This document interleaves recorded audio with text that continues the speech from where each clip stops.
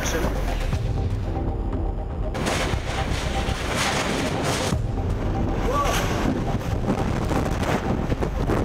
It was just one of those moments where you're like, okay, okay, okay, it's coming. We gotta go, we gotta go.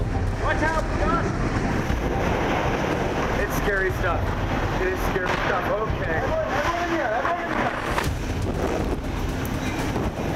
Get in here. Everyone get in. Shut the door, shut the door. See, we're all just trying to ride out this storm. We made a, we made a ceiling with a mattress.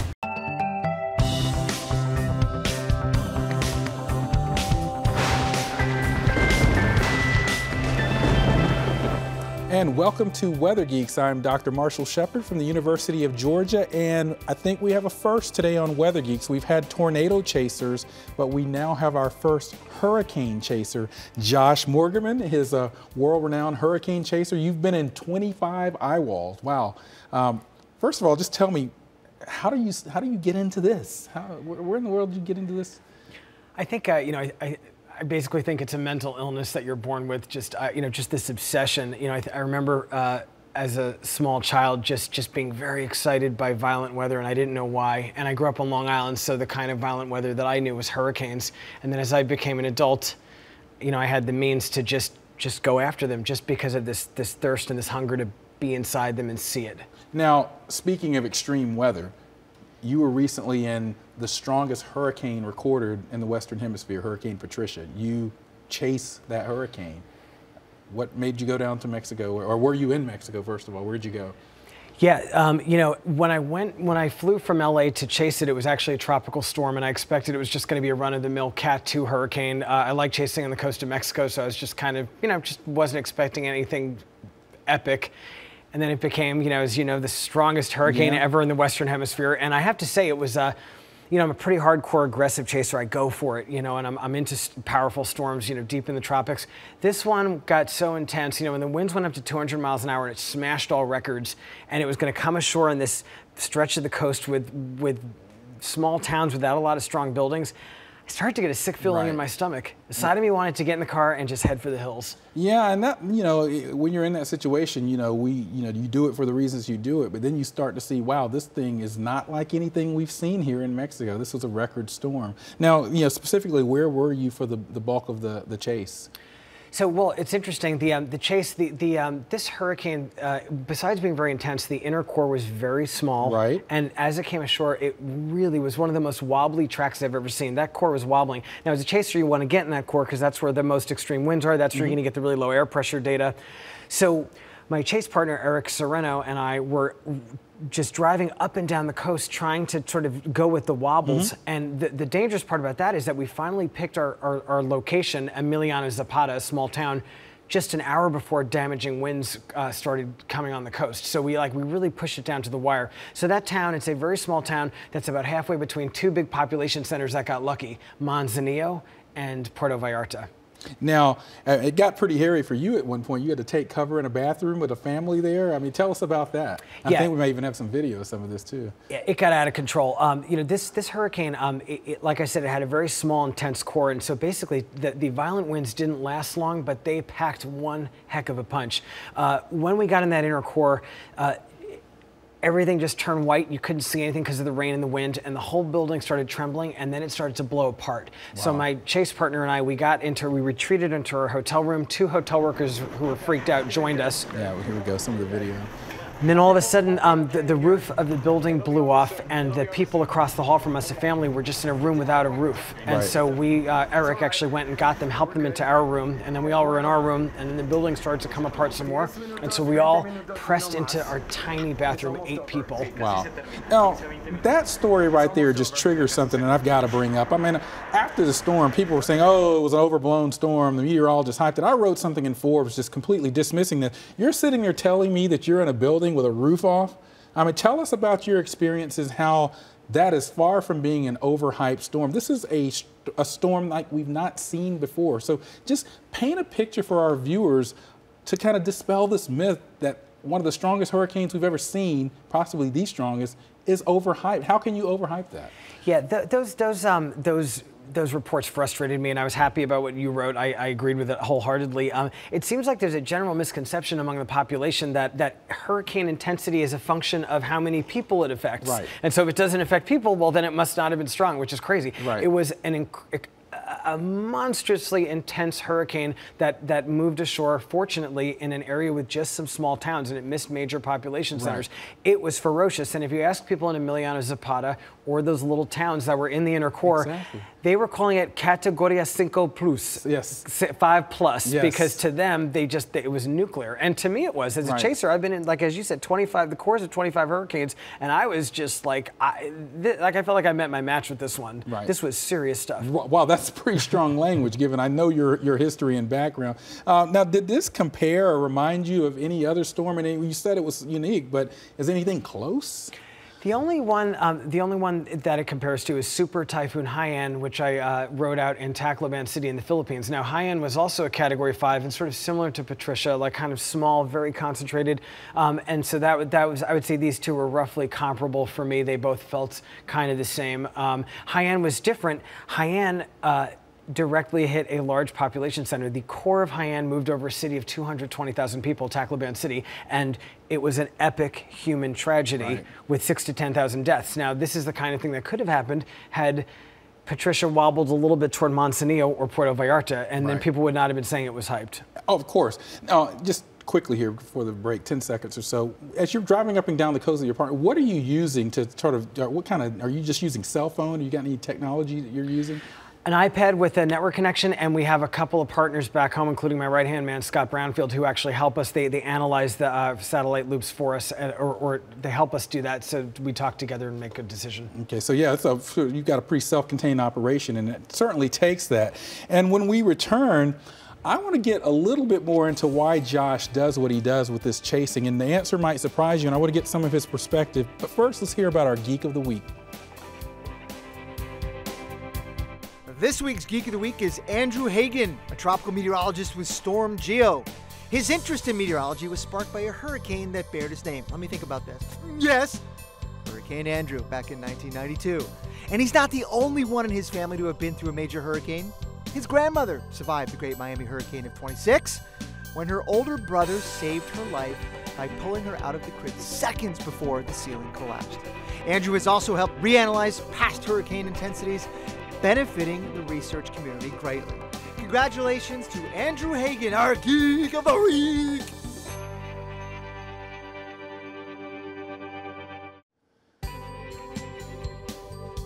And we're back with Josh Morgerman. He's uh, a storm chaser, a, a, hurricane chaser, really, and really the first that we've had on Weather Geeks. Now, I want to get more into, you talked a little bit about why you do what you do, but Weather Geeks viewers, you might not know this, but this guy is a Harvard history grad. Is that right? And that is, yeah. Not a meteorologist. Right. So, again, tell us how a history grad becomes one of the world's foremost hurricane chasers.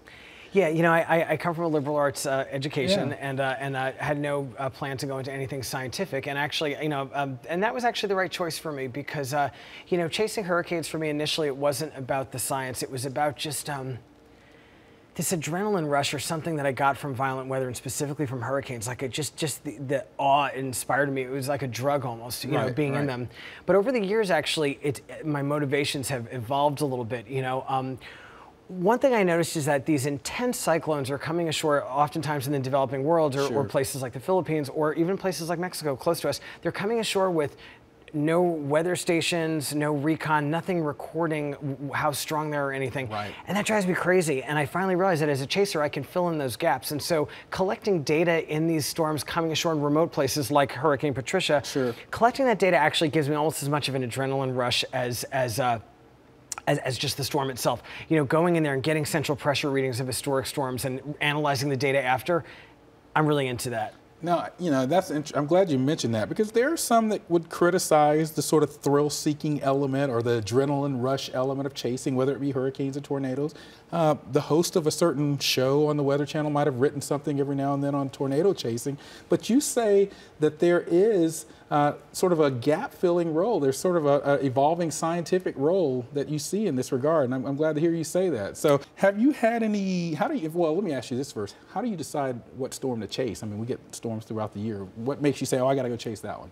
Well, that's the million dollar question because yeah. that that's what sort of separates the men from the boys, and that's what separates a great season from a bad one, you mm-hmm. know. And I've gone after, you know, fortunately not too many, but I've gone after ones that that ended up not being good chase so subjects. So you have had bust. I've had a couple, okay. just a couple. My batting average is very high, and I think of it as a competitive sport, and I've got a good batting average. This year I aced it. I had four uh, wins, but yeah, deciding which are going to be good chase subjects, which are going to be strong cyclones approaching coastline, you know, accessible coastlines at right angles deciding which those are going to be, that is, I mean, that, that really is what makes a good chaser. Right. And it's hard. Now, you know, this is not cheap. How do you finance this or how do you do this? I mean, is it you just have a stash somewhere, your chase stash, or you got a sponsor? I mean, is it just all the above or?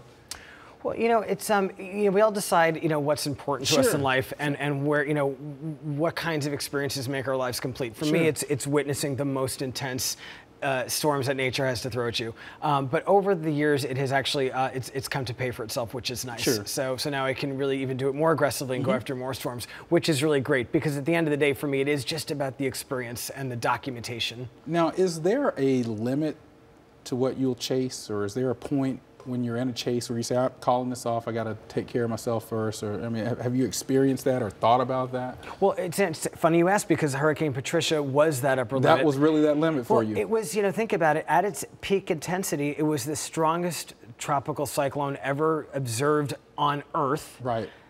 200 miles offshore from our location. We were in this little Mexican fishing village. I mean, if that's not hardcore, I don't. I mean, there's there's no situation that's ever going to be past that. So I felt like I was facing the ultimate situation, and my curiosity about it slightly outweighed my. Uh, uh we're going to talk about your top five chases when we come back for the break. So hold that thought. I want to get more from you next on Weather Geeks.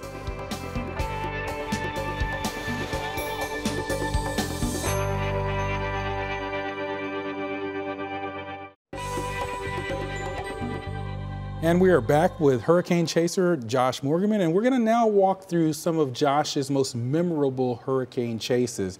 And sort of number five on the list is Typhoon Dujuan.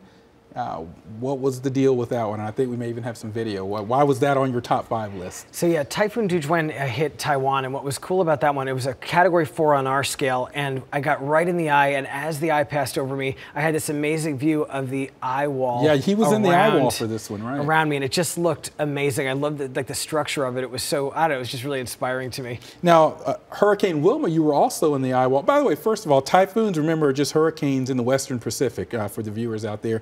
You were in Hurricane Wilma as well, 2005 in the eye. Tell us about that. Yeah, well, Hurricane and, Wilma, the last great hurricane to hit the USA. Yeah. I was on the west coast in a small village called Everglade, or west coast of Florida in a small village called Everglades City. Mm-hmm. What I remember about that one was that it was very ferocious after the eye passed. The, the backside of the hurricane was much worse, and the storm surge rushing into the town and suddenly inundating it, and my chase partner and I having to make like a very quick escape. That will always stay in my memory.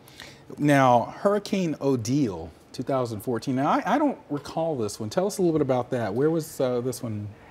This was an incredible, a historic storm. So this hit the popular resort city of Cabo San Lucas dead on. Now, ah, Cabo yeah, San Lucas now um, usually doesn't get intense hurricanes. They get a lot of hurricanes, but weak ones. This was a powerful, almost a category four, a high end category three, ran the city head on. Uh, I was in a hotel that just started to blow apart in the winds, and uh, my cameraman and I, despite bleeding and, and, uh, and, and scratches, we just kept our cameras running and we got some incredible footage of what happens inside a building when hurricane winds bleeding get in. Bleeding and scratch, were you cut by glass? Yeah, flying glass. Flying glass, okay.